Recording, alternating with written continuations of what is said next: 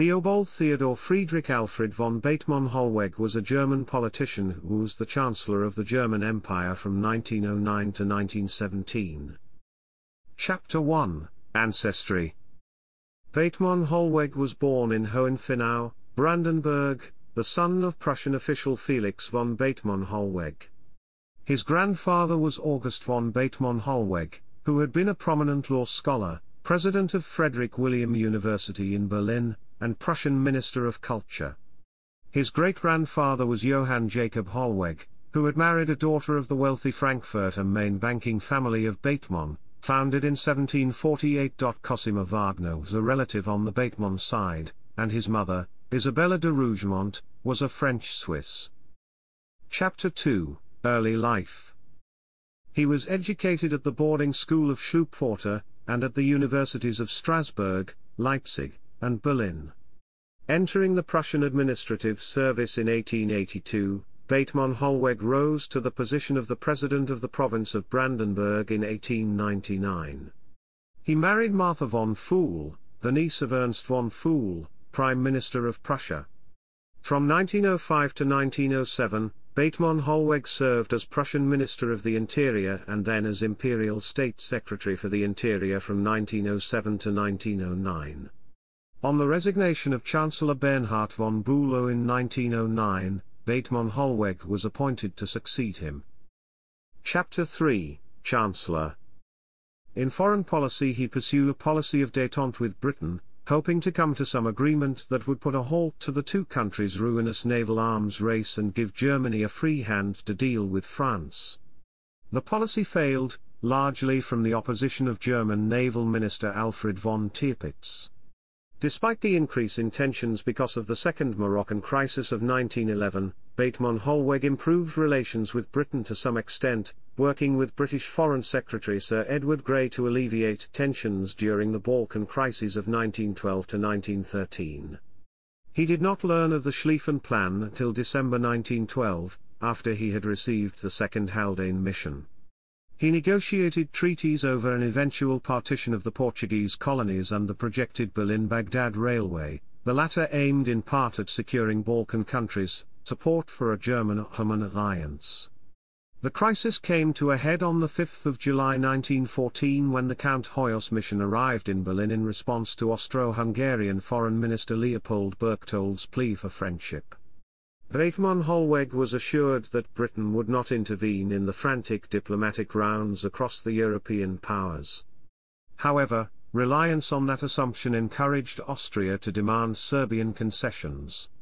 His main concern was Russian border maneuvers, conveyed by his ambassadors at a time when Raymond Poincaré himself was preparing a secret mission to St. Petersburg. He wrote to Count Sergei Sazonov.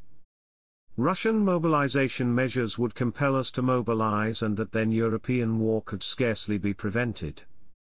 When War Minister Erich von Falkenhayn wanted to mobilize for war on the 29th of July, Bethmann was still against it but used his veto to prevent the Reichstag from debating it. Pourtalès's telegram of the 31st of July was what Helmuth von Moltke the Younger, who declared a Zustand drohende Kriegsgefahr, wanted to hear, to Bethmann Hollweg's dismay, the other powers had failed to communicate Russia's provocation. In domestic politics, Bethmann Hollweg's record was also mixed, and his compromising of socialists and liberals on the left and nationalists on the right alienated most of the German political establishment. Following the assassination of Archduke Franz Ferdinand in Sarajevo on 28 June 1914, Bethmann Hollweg and his foreign minister, Gottlieb von Jagow, were instrumental in assuring Austria-Hungary of Germany's unconditional support, regardless of Austria's actions against Serbia. While Grey was suggesting a mediation between Austria-Hungary and Serbia, Bethmann-Hollweg wanted Austria-Hungary to attack Serbia, and so he tampered with the British message, and deleted the last line of the letter. Also, the whole world here is convinced, and I hear from my colleagues that the key to the situation lies in Berlin, and that if Berlin seriously wants peace, it will prevent Vienna from following a foolhardy policy. When the Austro-Hungarian ultimatum was presented to Serbia, Kaiser Wilhelm II ended his cruise of the North Sea and hurried back to Berlin. When Wilhelm arrived at the Potsdam station late in the evening of July 26, he was met by a pale, agitated, and somewhat fearful Chancellor. Bethmann Hollweg's apprehension stemmed not from the dangers of the looming war, but rather from his fear of the Kaiser's wrath when the extent of his deceptions were revealed. The Kaiser's first words to him were suitably brusque, how did it all happen? Rather than attempt to explain, the Chancellor offered his resignation by way of apology. Wilhelm refused to accept it, muttering furiously, You've made this stew, now you're going to eat it. Bethmann Hollweg, much of whose foreign policy before the war had been guided by his desire to establish good relations with Britain, was particularly upset by Britain's declaration of war following the German violation of Belgium's neutrality during its invasion of France. He reportedly asked the departing British ambassador Edward Goschen how Britain could go to war over a scrap of paper, which was the 1839 Treaty of London guaranteeing Belgium's neutrality. A published interview explaining the scrap of paper phrase uttered by von Bethmann Hollweg. My conversation with Sir E. Goschen occurred on the 4th of August. I had just declared in the Reichstag that only dire necessity, only the struggle for existence, compelled Germany to march through Belgium, but that Germany was ready to make compensation for the wrong committed. When I spoke I already had certain indications, but no absolute proof, on which to base a public accusation that Belgium had long before abandoned its neutrality in its relations with England. Nevertheless, I took Germany's responsibilities towards neutral states so seriously that I spoke frankly on the wrong committed by Germany. What was the British attitude on the same question? The day before my conversation with the British ambassador, Sir Edward Grey had delivered his well-known speech in Parliament, wherein, while he did not state expressly that England would take part in the war, he left the matter in little doubt. One needs only to read this speech through carefully to learn the reason of England's intervention in the war. Amid all his beautiful phrases about England's honour and England's obligations we find it over and over again expressed that England's interests, its own interests, called for participation in war, for it was not in England's interests that a victorious, and therefore stronger, Germany should emerge from the war.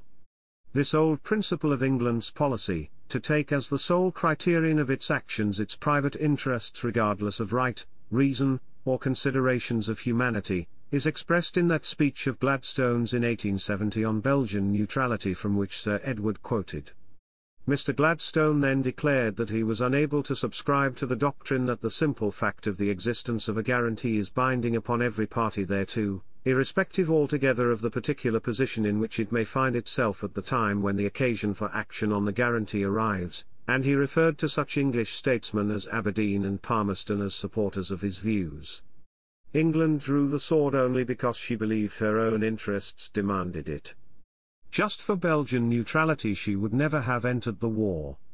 That is what I meant when I told Sir E. Goschen, in that last interview when we sat down to talk the matter over privately man to man, that among the reasons which had impelled England into war the Belgian neutrality treaty had for her only the value of a scrap of paper. I may have been a bit excited and aroused. Who would not have been at seeing the hopes and work of the whole period of my chancellorship, going for naught? I recalled to the ambassador my efforts for years to bring about an understanding between England and Germany, an understanding which, I reminded him, would have made a general European war impossible, and have absolutely guaranteed the peace of Europe. Such understanding would have formed the basis on which we could have approached the United States as a third partner. But England had not taken up this plan, and through its entry into the war had destroyed forever the hope of its fulfillment. In comparison with such momentous consequences, was the treaty not a scrap of paper? Bethmann Hollweg had made some plans in the event Britain came into the war and was involved closely in the plans to destabilize Britain's colonies, most notably the Hindu-German conspiracy. A tall, gaunt, somber, well-trimmed aristocratic figure, Bethmann Hollweg sought approval from a declaration of war. His civilian colleagues pleaded for him to register some febrile protest, but he was frequently outflanked by the military leaders, who played an increasingly important role in the direction of all German policy.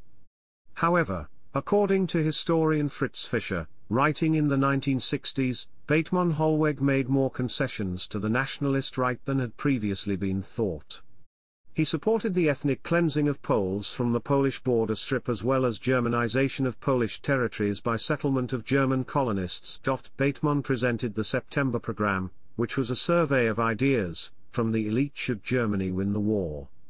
Bethmann Hollweg, with all credibility and power now lost, conspired over Falkenhayn's head with Paul von Hindenburg and Erich Ludendorff for an eastern offensive. They then succeeded, in August 1916 in securing Falkenhayn's replacement by Hindenburg as Chief of the General Staff, with Ludendorff as First Quartermaster General. Thereafter, Bethmann Hollweg's hopes for U.S. President Woodrow Wilson's mediation at the end of 1916 came to nothing.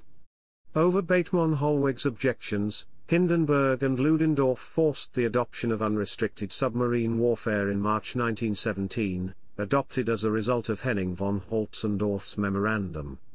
Bethmann Hollweg had been a reluctant participant and opposed it in cabinet. The US entered the war in April 1917, perhaps the inevitability that they had wished to avoid. Bethmann Hollweg remained in office until July 1917, when a Reichstag revolt resulted in the passage of Matthias Erzberger's peace resolution by an alliance of the Social Democratic, Progressive, and Centre parties, which forced his resignation and replacement by a relatively unknown figure, Georg Michaelis. Chapter 4 German Revolution During 1918, German support for the war was increasingly challenged by strikes and political agitation. In October sailors in the German Imperial Navy mutinied when ordered to set sail for a final confrontation with the British Navy. The Kiel Mutiny sparked off the November Revolution which brought the war to an end. Bethmann Hollweg tried to persuade the Reichstag to opt to moderate for peace. Chapter 5 Later Life His plan to dominate European hegemony through pan-Germanism in the East and Mitteleuropa in the West disintegrated at the Treaty of Brest-Litovsk. It signaled a long-term development of racially expansive policies of Germanification that presaged the Second World War 20 years later. Intellectual supporters of the policy in Berlin, Arnold Weishaupt, Undersecretary in the Chancellery, and Arthur Zimmermann, were his closest and ablest colleagues. Bethmann Hollweg was directly responsible for devising the Flamenpolitik on the Western Front carried out in the Schlieffen Plan, yet this strategy's ultimate failure as a mode of occupation brought economic collapse and military defeat, as was clearly identified by the Bryce report. The Chancellor's justification lay in the refrain that Germany was fighting a war of national survival. Bethmann Hollweg received prominent attention throughout the world in June 1919, when he formally asked the Allied and the associated powers to place him on trial instead of the Kaiser. The Supreme War Council decided to ignore his request. He was often mentioned as among those who might be tried by allies for political offenses in connection with the origin of the war. In 1919, reports from Geneva said he was credited in diplomatic circles there as leading the monarchists for both the Hohenzollerns and the Habsburgs, the nucleus of which was said to be located in Switzerland. The ex-chancellor spent the short remainder of his life in retirement, writing his memoirs. A little after Christmas 1920, he caught a cold, which developed into acute pneumonia from which he died on the 1st of January 1921. His wife had died in 1914, and he had lost his eldest son in the war. He was survived by a daughter, Countess Zech-Burkersroda, the wife of the secretary of the Russian legation at Munich. Bethmann Hollweg is buried in Hohenfinow. Chapter 6, Section 1 Primary Sources Bethmann Hollweg, Theobald. Blucher, Princess Evelyn. An English Wife in Berlin. London, Constable, ESP pages 10 to 24. Carnegie Endowment for International Peace. Official German documents relating to the World War, 2, 1320 to 1321. Online in English translation. Chapter 6, Section 2, in German. Wolfgang Gust, ed. Der Völkermord and den Armenien 1915-15, Dokument aus dem politischen Archiv des Auswärtigen Amts Preface by Viaken and Adrian, in German with English abstracts of documents. Zuclampen Verlag. ISBN 3934-920-59-4. Janßen, Karl-Heinz, Der Kanzler und der General. Die Führungskreis um Bethmann Hollweg und Falkenhayn. Musterschmidt, Göttingen U. A. 1967. Wollstein, Gunther, Theobald von Bethmann Hollweg. Letzte Irby Bismarcks, erstes Opfer der Dolchstoßlegend. Musterschmidt, Göttingen U. A. 1995. ISBN 37881-014458. Zmarzlik, Hans G., Bethmann Hollweg ALS Reichskanzler, 1909-1914. Studien zu Möglichkeiten und Grenzen seiner innerpolitischen Motstellung.